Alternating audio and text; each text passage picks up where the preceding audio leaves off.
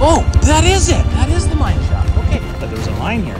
Then I pulled up the AER records. I get out of the truck like this, maybe about 10 feet past my side by side freaking grizzly bear standing there looking right at us.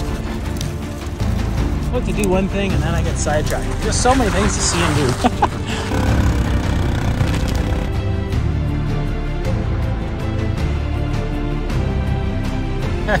the tunes are just going.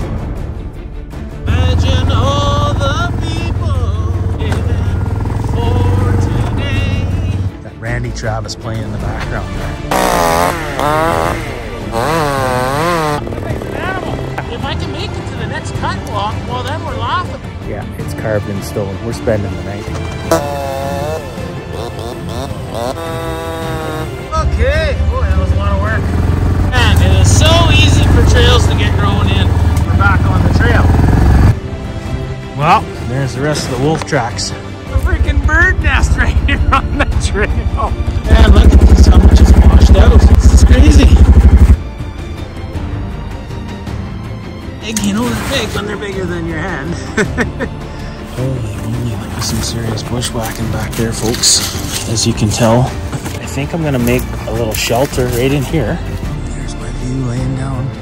Cause ladies love outlaws. Well, cheers, folks. Pillow. Well, good night, folks.